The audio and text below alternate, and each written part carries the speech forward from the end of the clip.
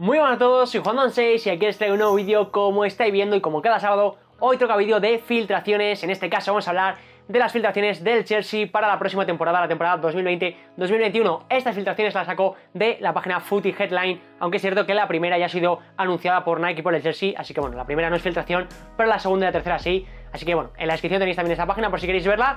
Ya sabéis que es muy importante que en esta clase de vídeos dejéis un like, ¿vale? Para que yo siga haciéndolos. Tenemos ya un montón de la Premier, tenemos las camisetas del Arsenal, que te las dejo por aquí, y a lo largo del vídeo vas a ver las del Manchester City, también tenemos las del Tottenham y algunas más que, irán saliendo y que poco a poco iremos grabando. Así que bueno, antes de empezar, como siempre, me gusta dejarte una pregunta, en este caso estamos hablando del Chelsea, y te quiero preguntar, ya que yo soy español, ¿cuál fue el último año o la última temporada en la que jugó Fernando Torres en el Chelsea, ¿vale? Dímelo, déjamelo en los comentarios y luego pues yo te diré si está bien o está mal. El caso es que, sin más, vamos a comenzar. Vale, decir que a mí la primera equipación del año pasado del Chelsea no me gustó nada, o sea, al principio me flipaba y luego fue como demasiado sobrecargada, esa que tenía como el, como el campo, ¿no? Como Stanford Bridge eh, integrada. Es verdad que a Adidas no me suele gustar, me suele gustar más Nike, pero con el Chelsea, no sé, Adidas me gustaba bastante y Nike como que no me termina de convencer y este año, como estoy viendo, tampoco es que hayan sacado una de mis equipaciones favoritas. La equipación no está mal, para mí la publicidad es bastante fea, y luego lo que me sorprende es que las pretinas y el cuello estén en negro en vez de en blanco. Creo que no termina de quedar mal. El patrón me flipa, o sea, me gusta muchísimo. Pero la publicidad es como que no pega y a la vez el patrón, pese a que me gusta mucho, me parece más una camiseta de entrenamiento. Aunque es que no, tampoco descarto comprármela porque no sé, mola.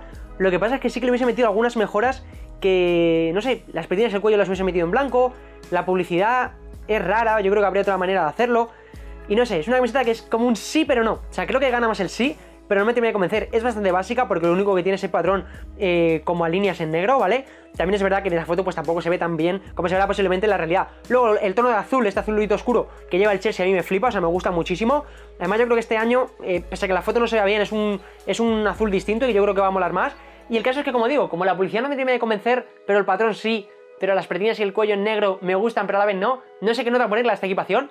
Creo que le voy a poner un 7,75, no llega al 8, pero a veces es una camiseta que no descarto comprarme, entonces me está de la cabeza con esta equipación, no sé qué os parece, dejadmelo en los comentarios, pero desde luego a mí me gusta más que la del año pasado y me parece un buen trabajo de Nike con, con el Chelsea. Vamos ahora con la segunda equipación, que a día de hoy, que estamos a principios de julio, ¿vale? Estoy grabando esto la primera semana de julio, no se ha hecho oficial todavía, la ha filtrado justo hoy eh, Footage Headline, entonces yo os la enseño, no sé qué pasará, y es esta equipación... Eh, bastante rara, no sé cómo definirla, no sé definir el color, creo que es azul, pero también puede ser gris o un blanco así raro. Escudo monocromático en negro, Nike en negro, pretinas y cuello también en negro. Les ha gustado el negro este año a Nike para el Chelsea. Y encontramos de nuevo ese 3 de publicidad que yo creo que a la larga nos va a gustar. Ahora a mí no me gusta, pero yo creo que a la larga nos va a hacer gracia porque es una publicidad que llama bastante la atención. Al igual que la primera equipación, encontramos rayas muy finitas, ¿vale? En este caso hay algunas que son negras y algunas que están como superpuestas, es decir, que tienen ese color como gris y que no sé exactamente qué quieren formar, pero también es como que forman flechas hacia arriba y hacia abajo, por así decirlo. Vamos, básicamente lo que yo puedo ver a través de esta foto. Y es una camiseta que, no sé, me deja muy frío. Parece de nuevo más de portero o de entrenamiento que una camiseta de jugar. Y a mí personalmente me llama mucho la atención que esta equipación sea la segunda, porque me pega más para la tercera, aunque ahora veréis la tercera y también tiene pinta de que eso es una tercera, así que no sé qué me parece esta equipación. A mí es que me deja raro el color, me deja raro el patrón me deja rara la publicidad. Es una camiseta que no me parece fea tampoco. Le voy a dar un 6,5, ¿vale? Un 6,5 creo que está bien. No me la voy a comprar, esta sí que no. Pero sí que, no sé, creo que Nike con el Chelsea no está haciendo malas cosas, porque al final son camisetas que están dando que hablar, estamos llamando, está llamando la atención por lo menos, no dejan de salirse de, por lo menos la primera equipación, de tono clásico, es decir, tampoco han hecho una innovación ahí súper grande que los aficionados del Chelsea vayan a, quejarse. Entonces me parece que, que el trabajo está bien, pero como que es demasiada innovación y a la vez como... O sea, está bien pero mal, no sé cómo decirlo, en los comentarios a ver si alguien consigue eh, sacarme a mí las palabras, porque de verdad que me está gustando bastante hacer este vídeo, porque no sé qué me transmiten exactamente las equipaciones. También me mola, nunca me había pasado con ningún equipo de todas las camisetas que hemos eh, analizado, todas las filtraciones. Así que bueno, pues guay, vamos a continuar con la tercera que también tiene, tiene tela. Vamos con la tercera equipación. Para mí la segunda, esta que acabamos de ver, podría ser la tercera por el color. No sé, creo que el Chelsea le pega a ese color como tercera equipación. Pero claro, ves esto que está viendo en pantalla y evidentemente esta equipación tan llamativa, tan moderna, tan rara, tiene que ser la tercera porque evidentemente las, terceras equipaciones son las más extravagantes y eso Nike lo sabe y siempre intenta innovar ahí. No sé qué decir de esta camiseta. ¿Qué os digo? ¿Qué os digo? Vamos a analizarla de momento a nivel objetivo. Vemos una camiseta en rojo con algunas, bueno, con algunas, creo que son cinco rayas, cinco bastones en azul, lo que pasa es que lo de los costados se ven un poquito menos, que usan un degradado, ¿vale?